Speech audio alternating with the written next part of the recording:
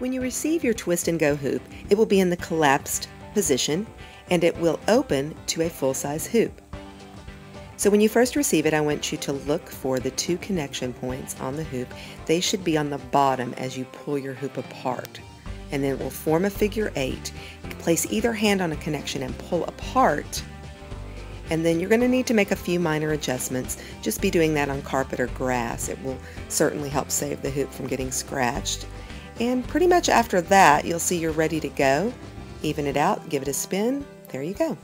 If there's ever a time you want to collapse it back down, look for the two connection joints and place one on the ground with your foot lightly on top of that and then your hands on either side of the top connection, twisting and pressing down. It will form a figure eight again and then you're going to place one side of the figure eight on your leg, reach at the top with the arm, push down forward and it folds right down and then you're ready to go.